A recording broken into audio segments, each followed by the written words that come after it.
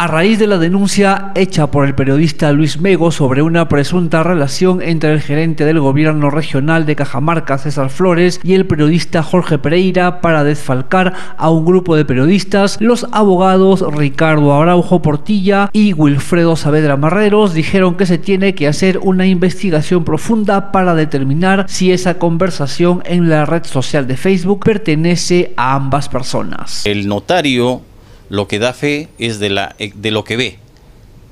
Si él ha visto que está eh, estas conversaciones en el internet, expresa ello, que lo constató, pero más no puede eh, dar fe de quién es el autor.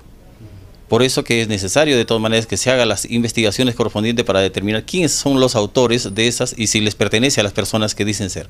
El tráfico de influencias, bueno, se configura cuando hay una persona, un lobista de cierta manera llamado así, que trata de influir, ¿no es cierto?, para eh, beneficiarse con algún movimiento que hace otro funcionario público o un funcionario público.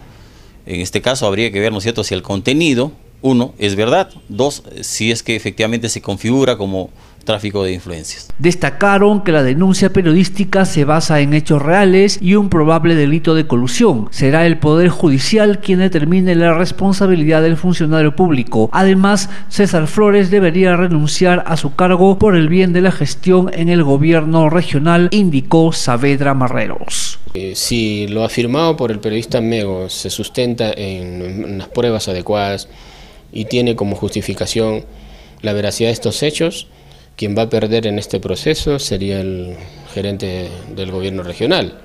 Entonces él tendría, bueno, él tendría que renunciar y si no le aceptan la renuncia tendría que ser expulsado, es decir, se le restaría la confianza por parte del gobernador regional.